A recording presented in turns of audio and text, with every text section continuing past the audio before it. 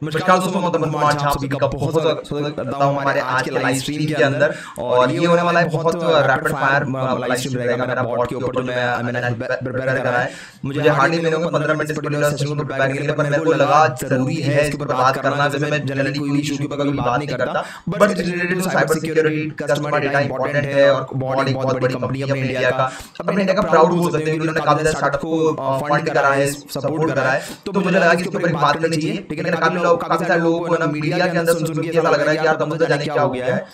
एक सेकंड में चेक कर लेता हूँ, शायद से मेरी स्क्रीन प्रॉपर आ रही है, नहीं आ रही है वो चेक करना पड़ेगा मुझे।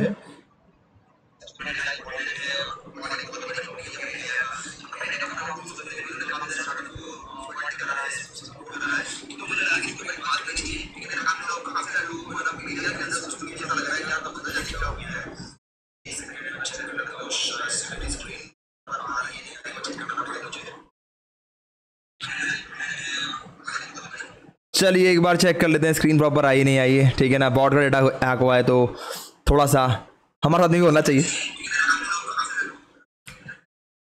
चेक कर लेता हूँ एक बार। बहुत दिनों के बाद लाइव स्ट्रीम हो रही है गाइस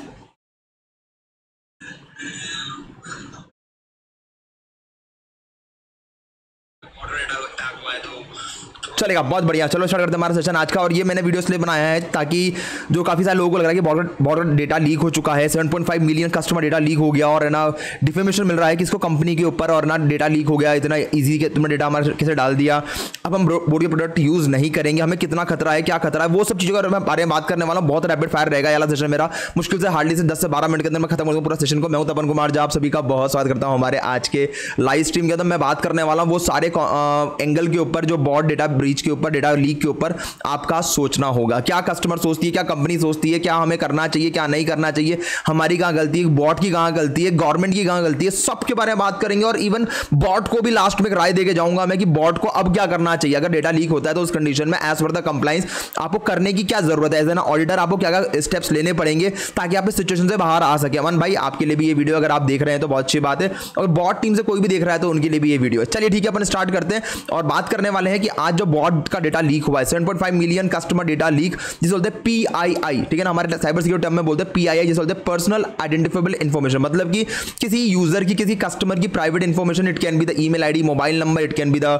आपका एटीएम कार्ड डिटेल हो सकती है, कुछ भी हो सकता है वो, ठीक है? मैं तपन कुमार जा साइबर सिक्योरिटी एक्सपर्ट आपका करता हूँ। तो पहले बात करने की, आपने देखा होगा इंटरनेट के ऊपर बहुत सारे रूमर्स फैल रहे हैं कि ब्रीच फॉरम के ऊपर ना डेटा लीक हो चुका है। ब्रीच फॉरम क्या है?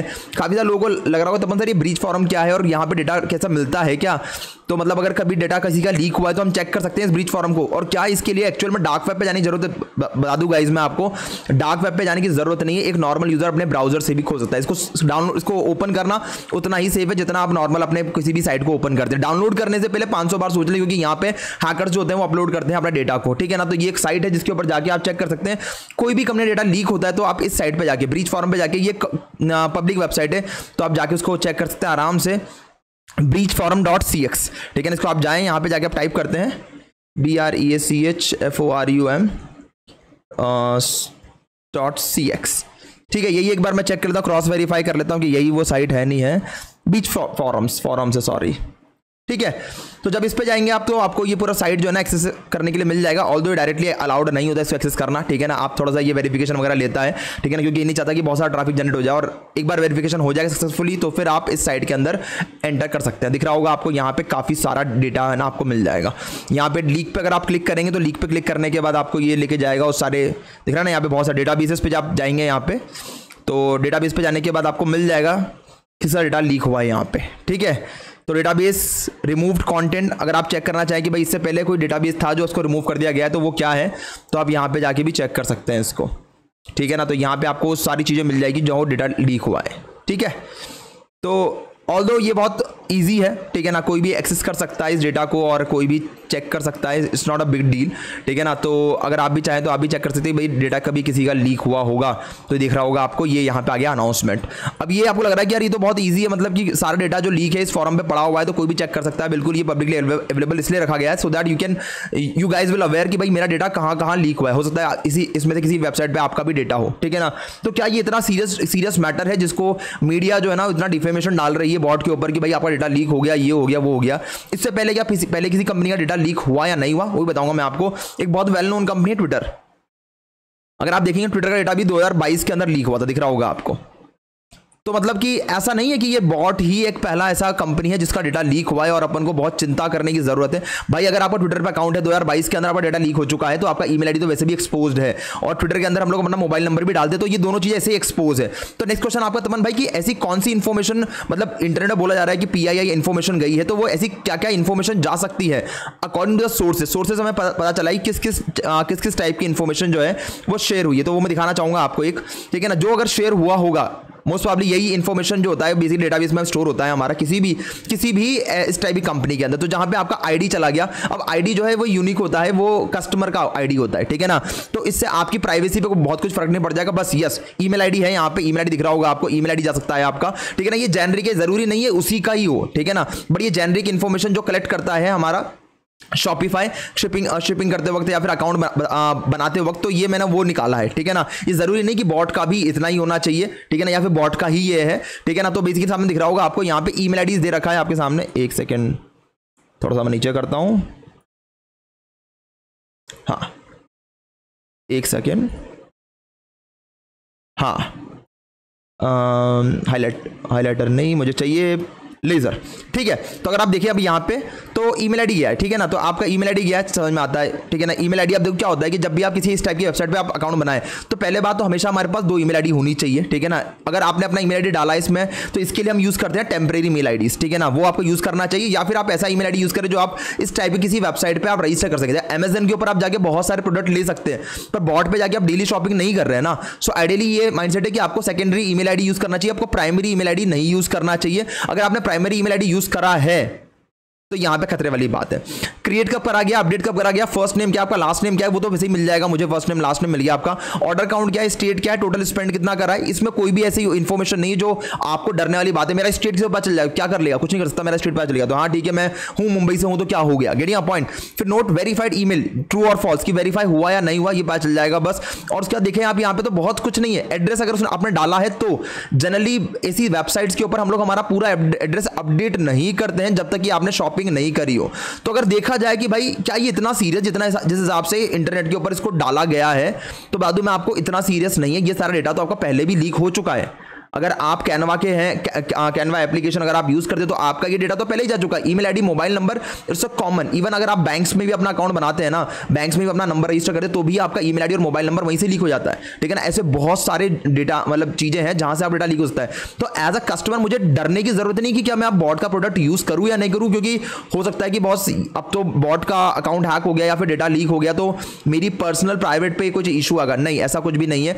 आप जो ईमेल आईडी यूज़ कर रहे हैं, अब जो, अब देखो, अगर ये जो डेटा लीक हुआ है, उससे आपके कॉन्सिक्वेंसेस क्या क्या हो सकते हैं एज अ कस्टमर कंपनी के जो कॉन्सिक्वेंसेज होंगे, उसके बारे में बात करेंगे, पर उससे पहले कस्टमर के क्या कॉन्सिक्वेंसेज होंगे बताता हूँ मैं आपको। ठीक है ना? तो ये डेटा आपका, ये बेसिक डेटा है, जो बेसिकली शॉपिफाई जो अपने पास स्टोर करता है, किसी भी ई कॉमर्स वेबसाइट का। ठीक है ना? तो ये स्पेसिफिक लिमिटेड टू हमारा बॉट नहीं है, पर ये इट्स कॉमन जेनरिक डेटा है हमारा।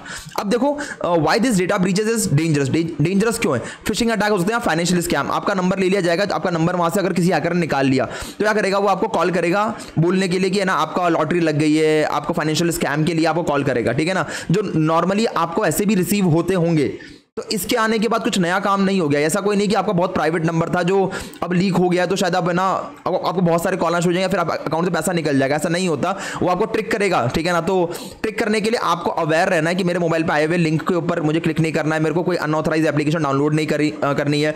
फिशिंग ईमेल आपका ईमेल अगर लीक हुआ है तो डेफिनेटली कोई फिशिंग स्कैम्स आ सकते हैं आपके पास। पर फिशिंग स्कैम को ऑलरेडी अगर जीमेल आपने डाला है तो जीमेल वेल डिफेंड कर देता है। अगर कोई फिशिंग लिंक आपको भेजता है तो जीमेल उसको पहले ही स्पैम फोल्डर में डाल देता है। तो वहाँ पे भी डरने की ज़रूरत नहीं है। अगर मेरा ईमेल लीक हुआ है, कोई आपके ईमेल को लेके हैक करने की कोशिश कर सकता है। तो उसके लिए करना क्या है? आपको अपना स्ट्रॉन्ग रखना है पासवर्ड और टू फैक्टर ऑथेंटिकेशन रखना अगर टू फैक्टर ऑथेंटिकेशन रखा हुआ है तो पासवर्ड अगर चला भी जाए उसके पास तो भी वो एक्सेस नहीं कर पाएगा और इस कंडीशन के अंदर आपका पासवर्ड ब्रीच नहीं हुआ है। Let me tell you guys इस कंडीशन के अंदर बॉड डेटा ब्रीच में आपका पासवर्ड कॉम्प्रोमाइज नहीं हुआ है। ये सिर्फ़ ईमेल आईडी और ईमेल आईडी हम जनरली भी किसी को दे देते हैं। तो पैनिक होने की ज़रूरत नहीं। मुझे बहुत सारे लोग डीएम आ रहे हैं तपन सर क्या करना है? मतलब कि हमें क्या बॉट प्रोडक्ट यूज़ करना बंद कर देना ईमेल आईडी बंद कर देना? नहीं, ऐसे डरने वाली कोई बात नहीं है। आपका ईमेल आईडी आप नॉर्मली किसी को दे देते हैं। पासवर्ड यहाँ पे लीक नहीं हुए किसी भी तरीके से, ठीक है ना? तो आप इस चीज़ के लिए सिक्योर रहें कि भाई मेरा पासवर्ड तो लीक नहीं हुआ इसके अंदर, ठीक है ना? मेरा ईमेल आईडी और मोबाइल नंबर गया है? जो नॉर्मली मैं डालता रहता हूँ अलग अलग वेबसाइट्स के ऊपर, जहाँ मैंने अमेजन पर रजिस्टर कर रखा है कैनवा पे। अगर आप जाएँ इस साइड पर फॉरम वाली साइड पर जाएँ तो आप देख सकते हैं कि इस पर मैं करता हूँ कैनवा तो अगर आपका ऑलरेडी कैनवा बना हुआ दो हज़ार उन्नीस का डेटा लीक हो गया है इसका। सर हमारा और भी बहुत सारी वेबसाइट है जिन पर जिनका डेटा ऑलरेडी लीक हो चुका है। तो आपका ईमेल आईडी अभी पहली बार गया है इंटरनेट पे, ऐसा नहीं है। आपका मोबाइल नंबर पहली बार एक्सपोज हुआ इवन फेसबुक का डेटा लीक हो गया बॉस बहुत दूर गया। और इसका तागा देखो कितना है। मतलब ये तो और फेसबुक क्या हमने कभी बैन करा है? मतलब इंडियन मीडिया ने कभी इसको हाईलाइट करा कि फेसबुक फेसबुक डेटा लीक हो गया और उसको कंटिन्यूसली चलाया नहीं है स्क्रीन के ऊपर, ठीक है ना? तो बेसिकली फेसबुक का डेटा लीक जब हो चुका है उन्नीस, दो के अंदर डेफिनेटली आपका अकाउंट होगा सर फेसबुक के ऊपर तो आपका ईमेल आईडी मोबाइल नंबर वैसे भी इंटरनेट पर रखा हुआ है। तो ये चला गया तो कुछ बहुत बड़ा काम नहीं होगा, पर हाँ it's a very serious impact ठीक है ना? कंपनी की रेपुटेशन खराब हो सकती है। अब उसके लिए क्या करना चाहिए, बताऊँगा मैं आपको अभी दो सेकंड की स्लाइड के अंदर, ठीक है? तो ये चीज़ बता दिया मैंने आपको कि आपके डेटा ब्रीच से आपको कितना ही इंपैक्ट हो जाएगा उससे। उसके बाद what we need to do now अब अगर मान लो डेटा लीक हो गया है तो एज अ कस्टमर मुझे क्या करना चाहिए। तो पहली बात मुझे चेक करना है कि जो मैंने बॉट की वेबसाइट पर अपना ईमेल ईमेल डाला था, क्या वो मेरा प्राइवेट ईमेल आईडी है या फिर मेरा वो ऑफिशियल मेल आईडी है? अगर ऑफिशियल मेल आईडी है तो मुझे कंसर्न रखने की ज़रूरत है। तो मुझे सतर्क रहना है कि आने वाले कोई भी फिशिंग मेल्स को, जो भी मेल को मैं ओपन कर रहा हूँ, जो भी डाउनलोड कर रहा हूँ, उसको मैं थोड़ा सा देख के करूँ। इतना कर सकते हैं, हटा तो सकते नहीं अपन उसको, ठीक है ना?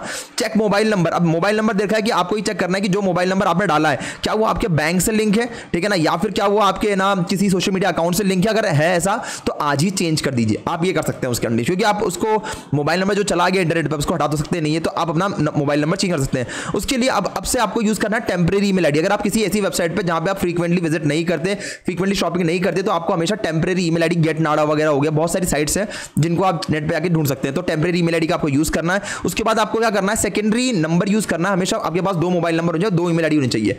एक नंबर होना चाहिए ऑफिशियल नंबर जो आपके अकाउंट्स वगैरह से लिंक हो, ठीक है ना? G Gmail Gmail social media account से लिंक हो, और एक होना चाहिए जो नॉर्मल नंबर हो, जो आप फॉर्म वगैरह भरते हैं साइट पर डालते हैं तो वहाँ पर होना चाहिए। ताकि अगर कोई डेटा लीक भी होता है तो आपका पर्सनल इन्फॉर्मेशन ना जाए। उसके बाद what we should we blame bot for this तो बता दूँ मैं आपको कि ना बॉट को हमें इसको, इस चीज़ के ब्लेम करना चाहिए। तो बता दूँ गाइज़ मैं आपको कि अगर, जैसे बताया गया है, जैसे मैंने नेट पे पढ़ा है, ठीक है I am not sure about it कि कितना सही, कितना गलत है। ये तो बॉट की टीम मुझे रिस्पॉन्ड करेगी इस चीज़ के ऊपर क्या सही है कि नहीं है।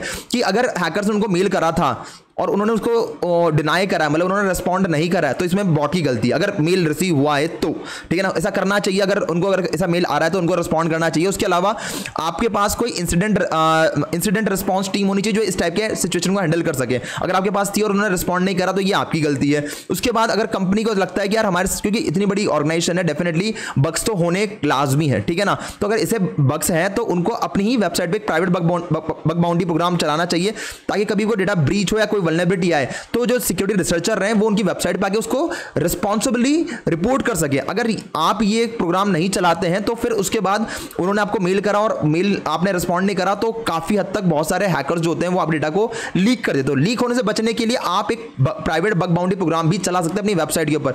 बहुत सारी कंपनी करती है ओला सॉरी अपना ये ओप्पो करती है, और भी रेडमी करती है। बहुत सारी कंपनी आप देखेंगे ना तो वो प्राइवेट बग बाउंड्री प्रोग्राम चलाती है। वो किसी प्लेटफॉर्म पर नहीं डालती है, अपनी ही वेबसाइट पर रख देती है, ताकि सिक्योरिटी रिसर्चर कोई बग मिलने पे उसको रिस्पॉन्सिबली आपकी टीम को कॉन्टैक्ट करके उसको रिपोर्ट कर सके एक लीगल चैनल से, ना कि एक अनऑथराइज चैनल अपनाए और उसको किसी डाक वेब पर डाल दे। ठीक बात है तो ये करना चाहिए मेरे हिसाब से बॉट को इस चीज़ के लिए।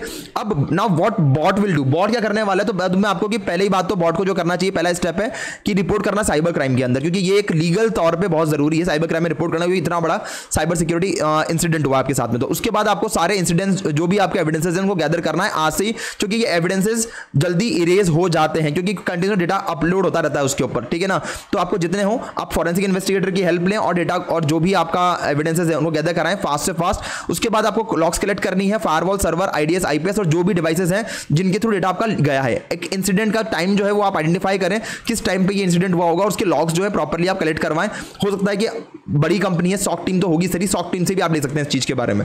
उसके बाद आपको हायर करने की ज़रूरत है एक साइबर लॉयर की, जो पर्टिकुलर इस पर्टिकुलर केस को साइबर के अंदर डील करेगा। उसके बाद आपको इस इंसिडेंट की जानकारी देनी है सर्ट को सी सी आर को ठीक है ना? क्योंकि सर्ट ने ये मैंडेटरी कर रखा है अगर आपकी ऑर्गेनाइजेशन में कोई भी इस टाइप का कोई इंसिडेंट होता है डेटा ब्रीच होता है, कुछ भी होता है तो आपको हमें इन्फॉर्म करना ज़रूरी है। आपको हमें रिपोर्ट देनी ज़रूरी है। उसके अलावा आपको करना पड़ेगा कंडक्ट करना पड़ेगा आरसी से बोलते root cause analysis with certain empanelled auditor का। आपको सर्टिन एम्पेलन कंपनी मिल जाएगी सर्टिन की वेबसाइट पे। वहाँ पे जाके आप आरसीए कंडक्ट करवाएँ, ताकि ये आइडेंटिफाई कर सके कि इस पर्टिकुलर ब्रीच के पीछे का एक्चुअल रीजन क्या है, और तो कैसे करेक्टिव मेजर्स क्या करें आपने उसके लिए। तो ये सब चीज़ें आपको बॉट को करना चाहिए। लास्ट बात नॉट द लीस्ट अमन भाई के लिए।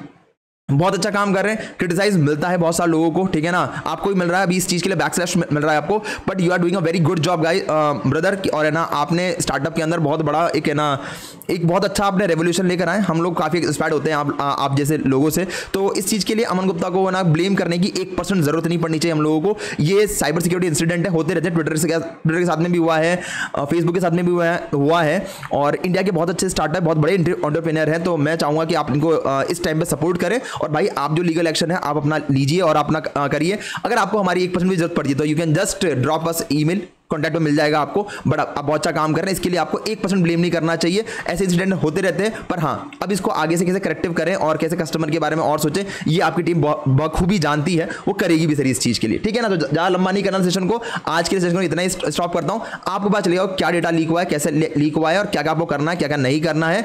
और ये एक थोड़ा सा केस स्टडी थी। आई होप आपको अच्छी लगी अच्छी लगी तो प्लीज़ कमेंट करके बताएँ मुझे, कैसा लगा आपको? एक्चुअली मेरा गूगल इंडिया में मेरा एक जस्ट सेशन है बारह बजे। मैं जा रहा हूँ उसको ज्वाइन करने के लिए। वहाँ एज ए स्पीकर मुझे बुलाया है तो मैं जा रहा हूँ उसको कंडक्ट करने के लिए। यहाँ पे मुझे सेशन लेना था, ये इंपॉर्टेंट था, इसलिए मैं आया। चलो ठीक है, आज के लिए इतना ही करते हैं। इस वीडियो को इतना ही। थैंक यू बनाई बाय गुड नाइट शबाकर मिलते हैं फिर नेक्स्ट वीडियो के अंदर। जय हिंद, जय भारत।